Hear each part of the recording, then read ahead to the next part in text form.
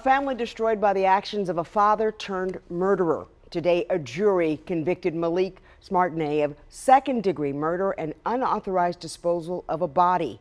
WMAR-2 News' Eddie Kadam is live at the courthouse tonight with more on the case.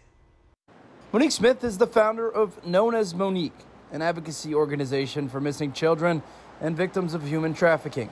She's a spokesperson for the family of Dominique Foster. She was a mother of six.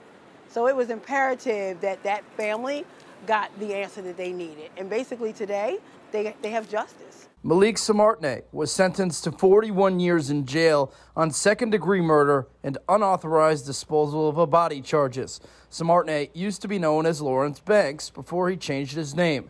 Police found a shopping cart with trash bags with Foster's body. Her severed head was never found. Smartney pleaded guilty to murdering a friend and his teenage son in the early 90s, and he was released from jail in 2002. He also served 15 years in prison for assault for throwing Foster through a glass door when she was just seven months old.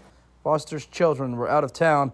They left a statement with Smith to read to us. We are extremely happy that this fight is over and that my mother can truly rest in peace and that my siblings and I are able to finally live in peace.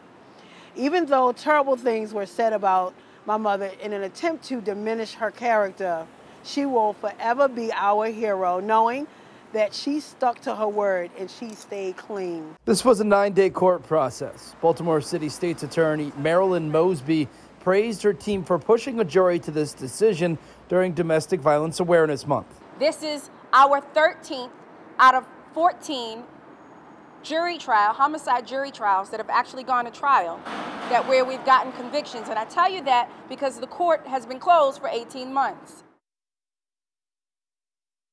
Now, if you or anyone you know is a survivor of domestic abuse, trafficking, or assault, we have a link to resources on our website.